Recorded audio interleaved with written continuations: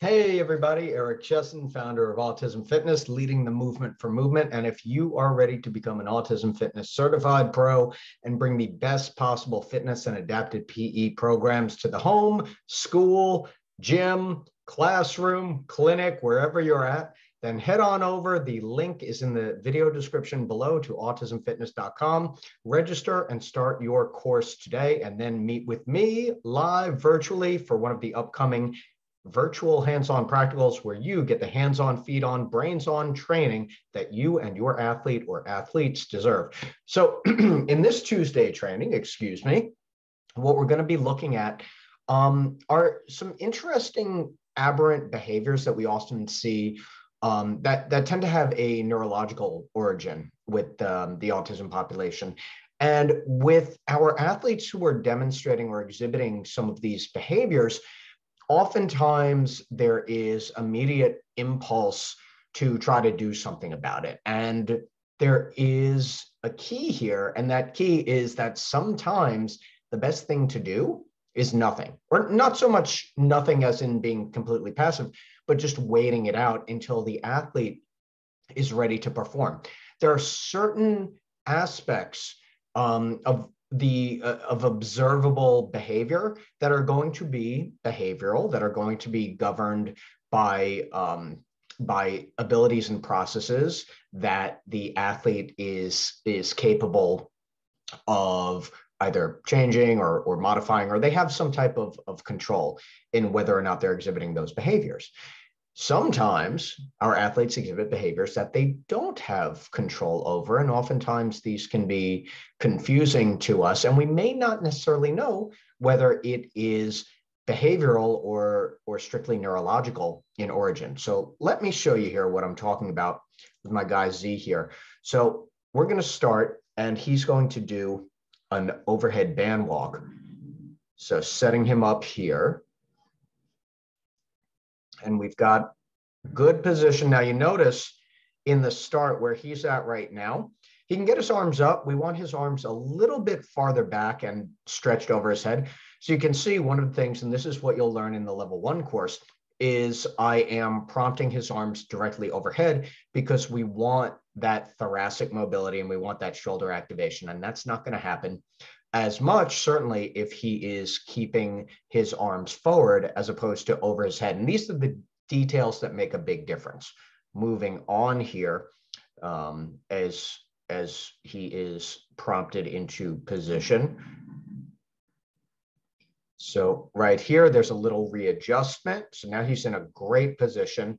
And right here, so you see this head tilt back and forward, uh, back and forth. So right to left, right to left, right to left. And if we're co- if we're coaching straight out of impulse, obviously we want him to continue with that overhead band walk. However, in this situation, there are highly competing factors. And from working with him for quite some time now and, and knowing some of his background, this is not something, this is not a behavior that he can control.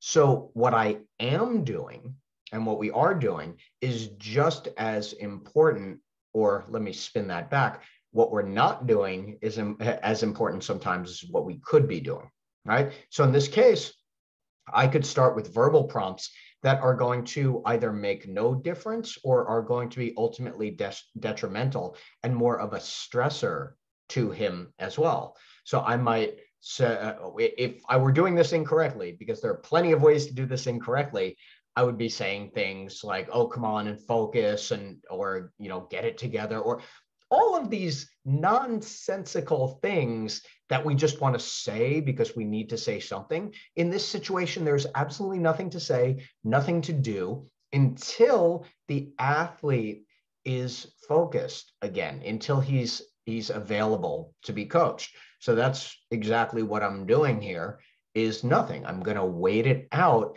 because right now the behavior is superseding the performance. We are not going to get performance out of this athlete right now. And that's fine. This is not a judgment call. It's just what's going on right now. So we see this head shake back and forth right now. and he's not available, it's going to take some time, right? And then he's ready again.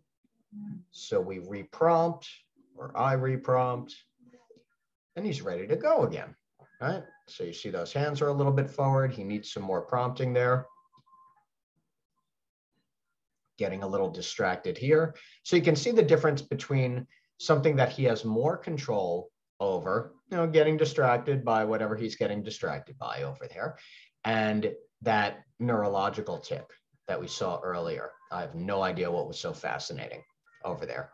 But we reset, and the key here is again the language that I am not using. I am not going to overwhelm an athlete with language when they need some time to reset or collect themselves. And you can see this overhead band walk now is pretty good, still needs a prompt. It's not like it's 100% independent right there. But the key point is we always have this hierarchy of what's going on with our athlete.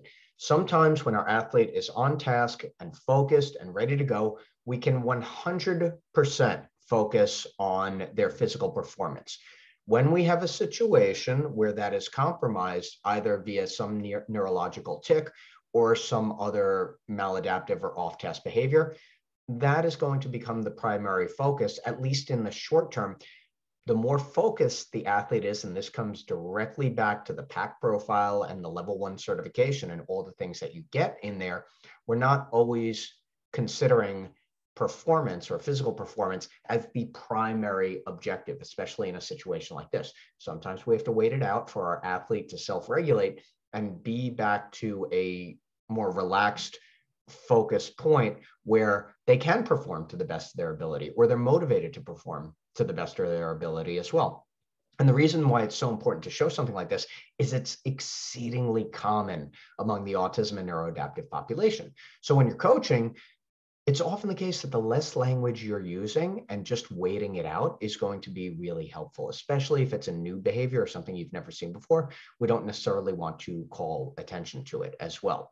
Finally, and, and just as important as some of the other things I've mentioned here, is that this is the reason why we do a lot of the same exercises over and over and over again, because in that situation, we're not really going to get a training effect out of that overhead band walk. Now, granted, it's a warm up exercise, so it's not necessarily going to build a lot of strength, but we do get that, that shoulder stability and we get that thoracic uh, mobility out of it as well.